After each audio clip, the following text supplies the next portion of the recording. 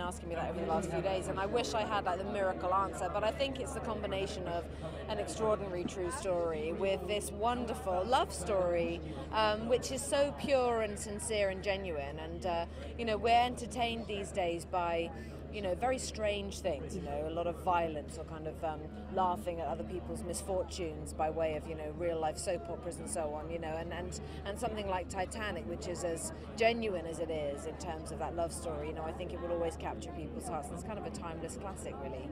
It does add something to it. I mean, it really does bring it alive, and um, it's different. It's a different experience. Hello. It's a different experience uh, watching it in 3D. You know, it, um, you do feel as though you're you're on the boat. You're really in it. You know, it's um, it's different. You're not just sitting back and watching it. You're actually much more involved. So, uh, no, it's really exciting.